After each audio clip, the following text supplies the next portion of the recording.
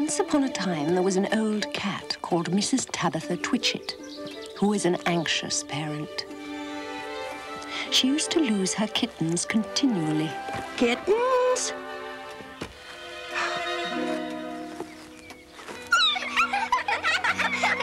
Tabitha Twitchit had three kittens, Tom and his sisters Moppet and Mittens. Kittens, where are you? They were always in mischief.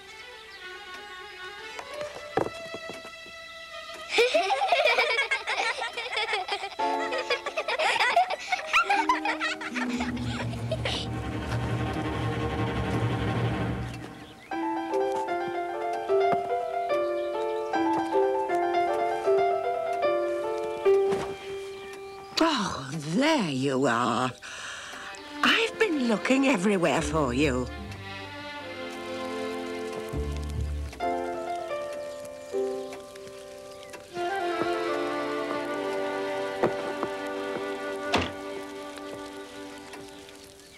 And there you stay, my two young rascals, until my baking is finished.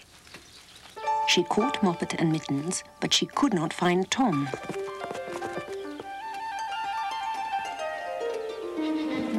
Now, I wonder. Tom did not want to be shut up in a cupboard. When he saw his mother was going to bake, he determined to hide. He looked about him for a convenient place and fixed upon the chimney.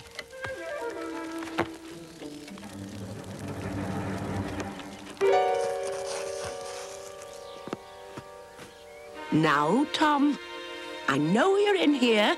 Now come out at once. Oh, Tom, I shall never get my baking done.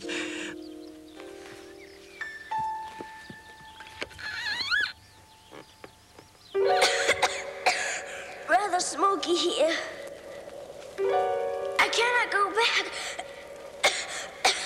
and if I slip, I might fall in the fire and singe my beautiful tail and my little blue jacket.